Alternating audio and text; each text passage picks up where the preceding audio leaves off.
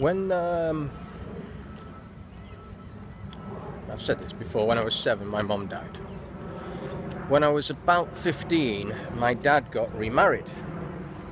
And um, I ended up, because it was me and my dad growing up in the house, I all of a sudden end up with a stepmom and a stepsister. Psychologically, it's like uh, someone invading your territory.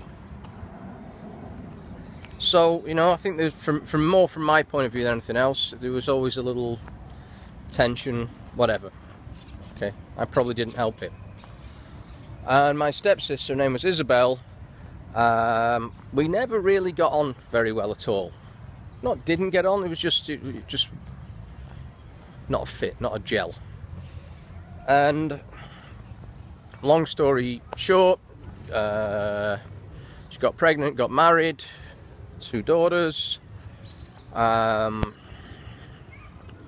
got uh, divorced, separated, whatever. Um, and, I, and some things happened and I wasn't happy with it. So basically, um, I stopped talking to her.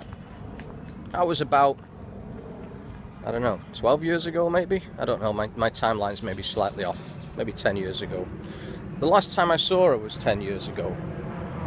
She's two years younger than me, so back then she would have been about 38. She could barely walk with weight issues. And, you know, then the, the next thing I heard is she'd gone off to Scotland, got married, blah, blah, blah. And that was basically it. Wasn't a taboo subject, didn't really speak much about her or life or general, general or whatever. However, this week, I got some, uh, it was a shock. I just got a messenger through Facebook saying Isabel died today. Now, I didn't realise, I've not been in touch. She'd not been well for a while, but it was always weight based, and apparently she was uh, extremely obese. Apparently, I don't know. And then I was talking to my stepmom, who was obviously shook up about this, but also pragmatic. Said she'd been ill for a while, it was always weight related, da da da, da. it's always weight related. And then this happens. Turns out, you know, she thought she had something wrong with the knee, uh, arthritis, they said it was, it was deep vein thrombosis, and it was, after an autopsy, a uh, embolism, something like that. So what's my point here? You just never know when the last time is you're going to see someone till it's the last time. Do I regret anything? Yeah, I don't know. I don't think like that. Um, could I have made her get in shape? No. Do people wake up obese overnight? No. Okay. So, you know, it happens. Am I shocked?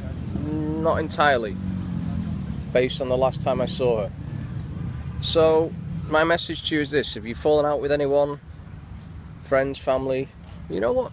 Today's a nice day to uh, mend that and just reach out, say a quick hello, and whatever it may be. Um, you know, it wasn't a grudge thing with her, it was just, it was an action that happened that I didn't agree with. The upside of it is I reconnected with her daughters this week and her ex-husband this week and all the rest of it. So there's always an upside. So from, where am I now? Prospect Park, Brooklyn. On this beautiful day. Go reach out to someone you've not spoke with for a while. Have a great one. Bye-bye.